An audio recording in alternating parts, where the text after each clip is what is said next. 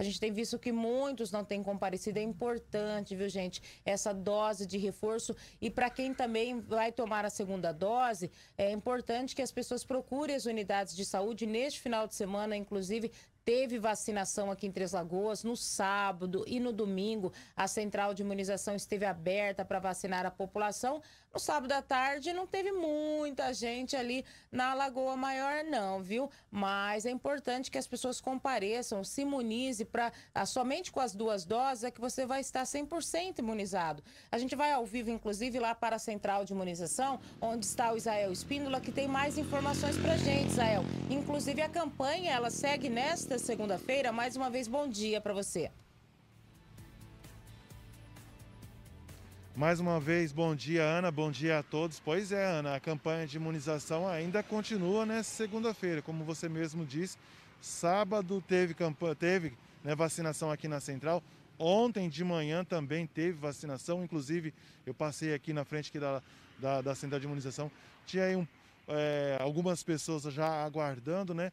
É claro que aquelas filonas quilométricas já não irão mais fazer, porque conforme vai avançando, maior número de pessoas vai se vacinando, vai ficando apenas um pouco do, do, de pessoas ainda que não vacinaram. Mas é importante sim para que você que não tomou a vacina contra a Covid-19 fique atento, venha né, às unidades de saúde tomar a sua vacina. Hoje, principalmente, viu, Ana? Tem campanha de vacinação. Aqui na central de imunização não haverá atendimento.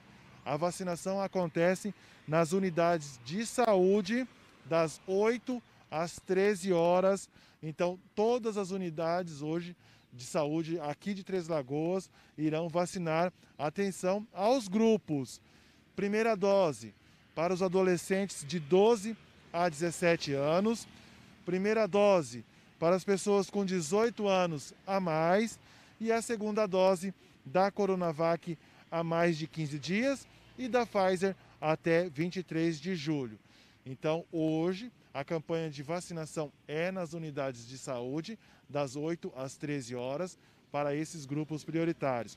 Mas também tem a terceira dose ou reforço da dose única para os idosos com mais de 70 anos, que receberam a segunda dose há mais de cinco meses, e pessoas imunossuprimidas, que receberam a segunda dose há mais de 38 dias. Então hoje ainda continua aí a campanha de vacinação aqui em Três Lagoas. E por falar em vacinação, vamos os dados aí da campanha de imunização. Doses aplicadas: 146.189.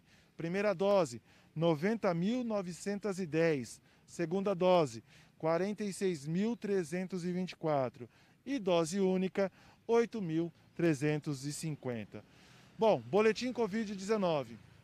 Neste final de semana, de sexta, sábado a domingo, Três Lagoas registrou 69 casos. Então houve aí um pequeno aumento aí, mas é por conta que o sistema ficou fora do ar aí na semana passada. Então, 69 casos foram registrados. Nenhum óbito foi registrado, graças a Deus. A gente vem aí mais de cinco dias já sem registrar nenhuma morte em decorrência à Covid-19. No Hospital Auxiliadora, sete pessoas estavam hospitalizadas, sendo que dessas sete, seis são positivas para a Covid-19 e apenas uma pessoa estava em observação. Na UPA, no hospital de campanha né, da Covid-19, não havia nenhum paciente em decorrência à Covid-19. Ana, então tá aí os dados do boletim Covid-19, da campanha de vacinação. Mais uma vez, meu amigo, minha amiga, preste atenção. Hoje a vacinação é nas unidades de saúde das 8 da manhã às 13 horas. Primeira dose para os adolescentes de 12 a 17, primeira dose para as pessoas com 18 anos mais e a segunda dose da Coronavac, da Pfizer e, claro, a terceira dose para os idosos e pessoas imunossuprimidas. Ana, eu volto com você no estúdio